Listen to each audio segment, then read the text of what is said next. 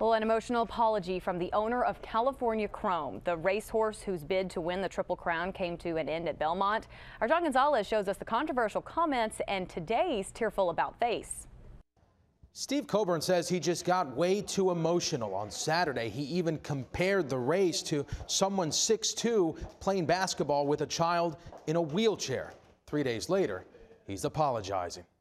Were you just caught up so in... much for this horse to win the Triple Crown for the people of America. It was a stunning end to what would have been a Cinderella story. California Chrome losing at the Belmont Stakes and falling short of the prestigious Triple Crown.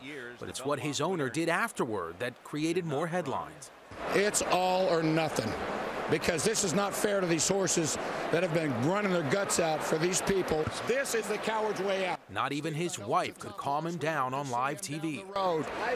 All right. If people could have seen behind the scenes the children he talked to, the children he embraced, a little young lady in a wheelchair at uh, Preakness, he handed her a bouquet of black-eyed Susan. Steve Coburn initially said the race was not fair because a fresh-legged horse that only ran in the Belmont won after passing on the Derby and the Preakness.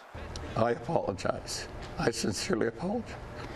Today on Good Morning America, a much different man. In an emotional plea, he apologized profusely very ashamed of myself. Very ashamed. I, uh, I need to apologize to a lot of people, including my wife, Carolyn. In the last eight Belmont races, six of the winners skipped the Kentucky Derby or the Preakness. The last Triple Crown winner, Affirmed in 1978, did beat out horses who only ran in that race. I was wrong. Perhaps one reason for the defeat, California Chrome did suffer a minor injury to his foot at the start of the race. His trainer says he's expected to make a full recovery.